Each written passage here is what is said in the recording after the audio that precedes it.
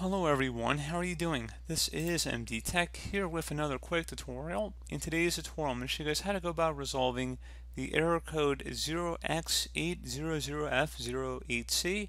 Feature name Microsoft Hyper-V is unknown.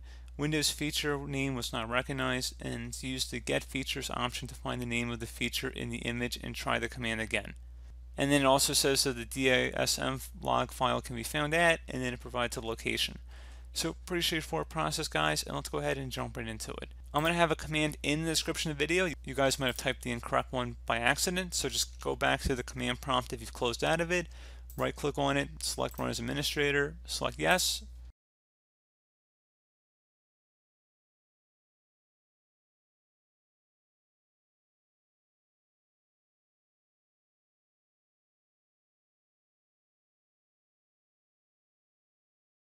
So go ahead and copy that from the description of my video and then go up to the top bar of the command prompt window, right click on it, select edit and then select paste to paste it in.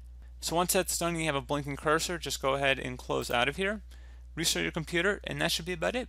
So as always, thank you guys for watching this brief tutorial. Do hope I was able to help you out and I do look forward to catching you all in the next tutorial.